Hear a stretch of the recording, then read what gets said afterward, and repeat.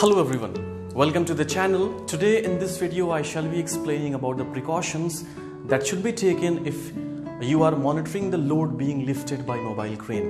आज इस वीडियो में मैं बात करने वाला हूँ एक्सप्लेन करने वाला हूँ कि अगर आपके वर्क प्लेस पर मोबाइल क्रेन से ऑपरेशन किया जा रहा है आई मीन मोबाइल क्रेन से लोड लिफ्ट किए जा रहे हैं तो इन दैट केस सिनारियो आपको क्या मॉनिटर करना है क्या चीज़ें चेक करनी है सी ये video I have made this video keeping a very simple thing in mind कि इस वीडियो से आप प्रैक्टिकल वर्क प्लेस पर जब आप जॉब के लिए जाएँ, या अगर आप जॉब कर रहे हैं और मोबाइल क्रेन का ऑपरेशन है तो वहाँ पे आपसे कोई चूक ना होने पाए।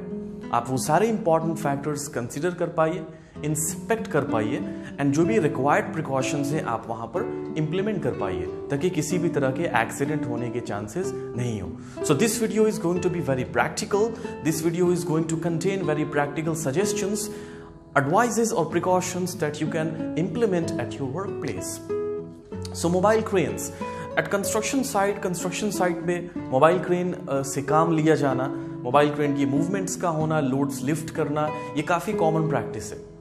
तो मोबाइल क्रेन से जब कभी कोई लिफ्ट किया जाने वाला होता है so the first thing that you should cross check पहली चीज़ जो आपको क्रॉस चेक करनी होती है they are documents because this is a legal requirement अगर आपके मोबाइल क्रेन से कोई, आपके वर्क प्लेस पर कोई मोबाइल क्रेन काम कर रहा है, और उससे कोई एक्सीडेंट हो जाता है, और जब इन्वेस्टिगेशन में ये बात पता चलती है कि इसका कोई सर्टिफिकेट एक्सपायर्ड था लाइक थर्ड पार्टी सर्टिफिकेट और रजिस्ट्रेशन सर्टिफिकेट या फिर ड्राइवर का थर्ड पार्टी लाइसेंस नहीं था ड्राइवर ऑथराइज्ड नहीं था तो वहाँ पर आपके लिए बहुत बड़ी लीगल कॉम्प्लिकेशन खड़ी हो सकती है। So documents are very important first thing that you should check पहली चीज़, आपके साइट पर मोबाइल क्रेन आए before you allow the crane to enter at your work place main gate से एंटर करने से पहले आपको प्रॉपर डॉक्यूमेंट्स चेक करने होते हैं। Now what will you check as far as crane is concern जहाँ तक क्रेन की बात है क्रेन में आप चेक करेंगे आरसी रजिस्ट्रेशन सर्टिफिकेट क्रेन का वैलिड है कि नहीं है you will check third party certification आप क्रेन का थर्ड पार्टी सर्टिफिकेशन चेक करेंगे you will check the insurance of the crane आप क्रेन का क्या चेक करेंगे? इंश्योरेंस चेक करेंगे. वॉट एल्स यू चेक और क्या चेक करेंगे? क्रेन में जो भी लिफ्टिंग टूल्स एंड टैकल्स हैं, आप उन सब का थर्ड पार्टी सर्टिफिकेशन चेक करेंगे. अपार्ट फ्रॉम दैट इसके अलावा यू विल मेक श्योर आप मेक श्योर sure करेंगे कि ड्राइवर के पास वैलिड ड्राइविंग लाइसेंस होना चाहिए. ड्राइवर के पास थर्ड पार्टी सर्टिफिकेशन होना चाहिए। जिसमें क्लियरली मेंशन हो कि that this person is fit and authorize trained to operate a mobile crane ये बंदा ट्रेंड है मोबाइल क्रेन को ऑपरेट करने के लिए। रिगर्स जो साथ में है, वो रिगर्स क्या होने चाहिए? कॉम्पिटेंट होने चाहिए ट्रेंड होने चाहिए, उनका भी सर्टिफिकेशन होना चाहिए। तो ये सारे सर्टिफिकेट्स को आप चेक करेंगे before you allow the mobile crane to work at your work place इससे पहले कि आप मोबाइल क्रेन को अलाउ करें, आप ये सारे वैलिड डॉक्यूमेंट्स को चेक करेंगे apart from that lifting appointed person now in many companies where there is a requirement of client बहुत सारे कंपनीज़ में जहाँ पे क्लाइंट की रिक्वायरमेंट होती है, वहाँ पे एक लिफ्टिंग अपॉइंटेड पर्सन होता है। हेवी लिफ्टिंग जब हो रहा होता है क्रिटिकल लिफ्टिंग हो रहा होता है तो वहाँ पर एक लिफ्टिंग अपॉइंटेड पर्सन का होना बहुत ज़रूरी होता है। ना in some some of the companies कुछ कंपनी में उसकी जगह पे लोग लिफ्टिंग सुपरवाइजर का यूज़ करते हैं। Lifting supervisor is use but there should be a concern person now concern person means what safety officer के अलावा, जो टास्क इंचार्ज है, उसके अलावा there should be a person specifically assigned to monitor that activity एक specific person होना चाहिए जो ट्रेंड हो मोबाइल क्रेन के बारे में। वो उस एक्टिविटी को क्या करने के लिए? मॉनिटर करने के लिए। सेफ्टी ऑफिसर टास्क इंचार्ज के अलावा there should be a specifically assigned person to monitor the activity इसके अलावा permit to work system there are permits specially design permits for lifting activities lifting activities के लिए permits होती हैं। आपको वो परमिट्स भी क्या करना होता है? चेक करना होता है कि परमिट्स लिया गया है या नहीं लिया गया है। इसके अलावा अगर रेंटल क्रेन है, रेंट पर क्रेन आई हुई है तो आप उसका इंस्पेक्शन रिकॉर्ड चेक करेंगे कि इंस्पेक्शन रिकॉर्ड जो है वो अप टू डेट है या नहीं है।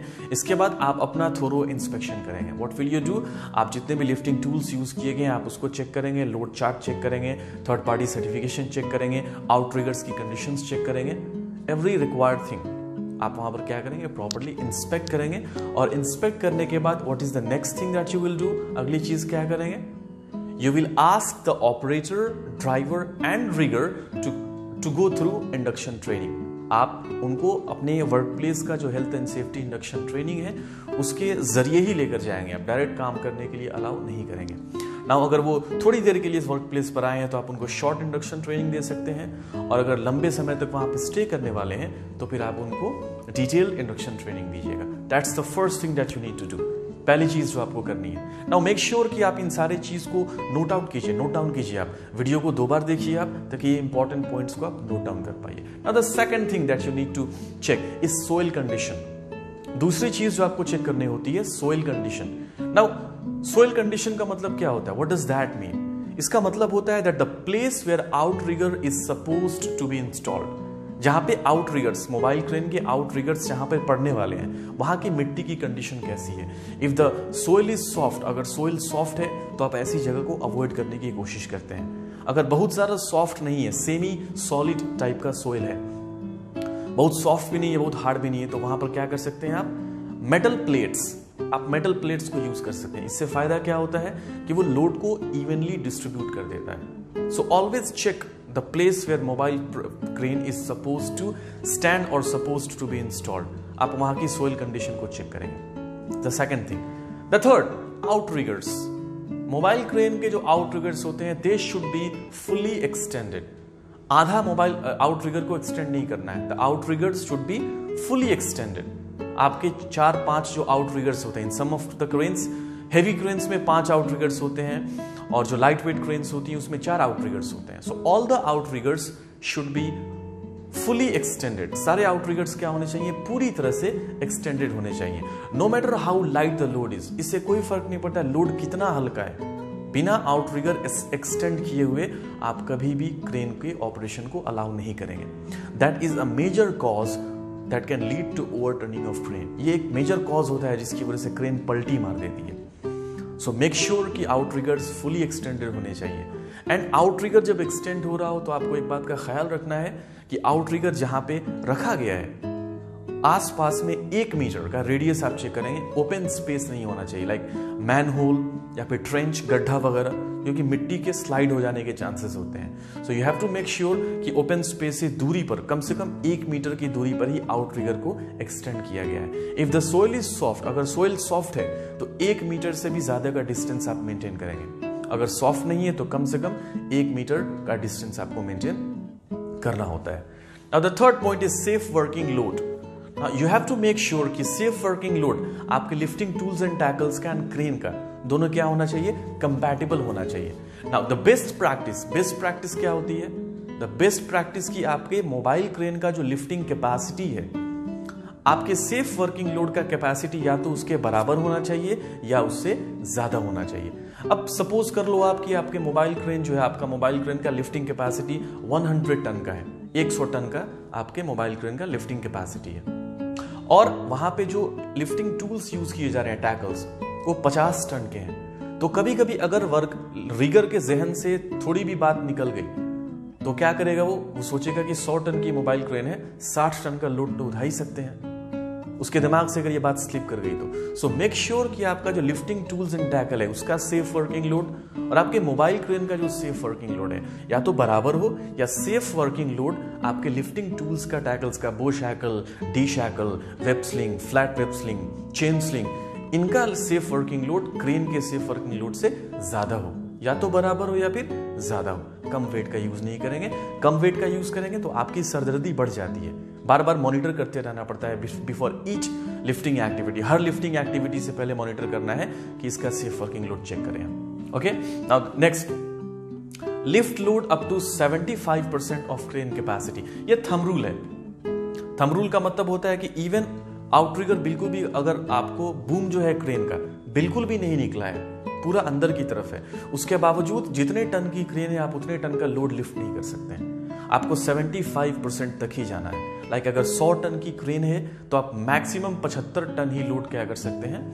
उठा सकते हैं। आजकल जो भी क्रेन आ रही हैं, सब में ऑटोमेटिक लोड इंडिकेटर्स लगे हुए हैं, जहाँ पे एक्सीड करने पर वो बीप करना शुरू कर देता है। But still you have to make sure कि 75 परसेंट इसके अलावा यू आर वेल अवेयर आपको अच्छे से पता होगा कि जैसे जैसे बूम जो है वो खुलते जाता है लोड लिफ्टिंग कैपेसिटी क्या होती है? कम होती जाती है। इसके साथ साथ angle the angle of the boom boom का एंगल जैसे जैसे कम होता है लाइक like 90 डिग्री से कम होगा 90 85 70 75 60 65 जैसे जैसे एंगल रिड्यूस होता है, वैसे वैसे लोड लिफ्टिंग कैपेसिटी भी क्या होती है? कम होती चली जाती है। तो थम रूल क्या होता है हमारा? थम रूल इज़ कि मैक्सिमम लोड हम कितना लिफ्ट कर सकते हैं? 75 percent load of the crane's capacity okay next you always have to check weather condition आपको हमेशा वेदर कंडीशन चेक करना होता है। Now if the weather is stormy अगर वेदर स्टॉर्मी है तो आप वहाँ पर कभी भी तेज हवा चल रही है तो ऐसे कंडीशन में मोबाइल क्रेन से आप लिफ्टिंग ऑपरेशन नहीं कीजिएगा। नाउ यहाँ पर एक एक टेक्निकल चीज़ है जो आपको ध्यान में रखनी है। समटाइम्स जैसे स्टैंडर्ड बात करें तो 25 नॉट्स रखा जाता है। लाइक मैक्सिमम 25 नॉट्स तक आप लिफ्टिंग कर सकते हैं।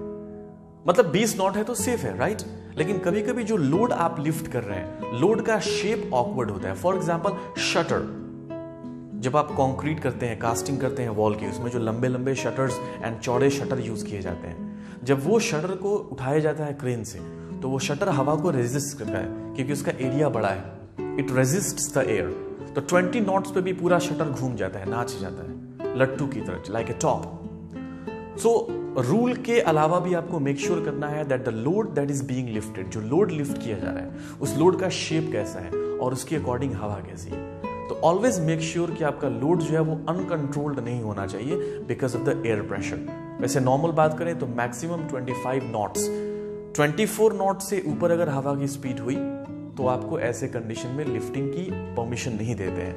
And if the weather is rainy अगर बारिश वारिश हो रही है in that case scenario too you will not allow lifting operation आप लिफ्टिंग ऑपरेशन को अलाउ नहीं करेंगे।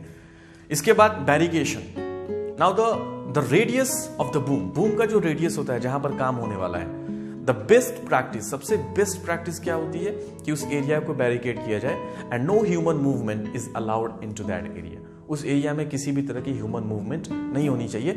पर्टिकुलरली खास तौर से सस्पेंडेड लोड के नीचे किसी भी तरह की मूवमेंट नहीं होनी चाहिए। तो वो चीज़ भी आपको ध्यान में रखना होता है। नेक्स्ट इज़ ट्रेंड रिगर जैसा कि शुरू में मैंने डिस्कस किया था in the beginning of the video that the riggers should be trained riggers आपके क्या होने चाहिए? ट्रेंड होने चाहिए। And how will you make sure आप कैसे मेक श्योर करेंगे? They should have some kind of third party certification उनके पास किसी तरह का थर्ड पार्टी सर्टिफिकेशन होना चाहिए which proves that they have been given adequate, or suitable training about lifting activities. Now, next, no movement under suspended load.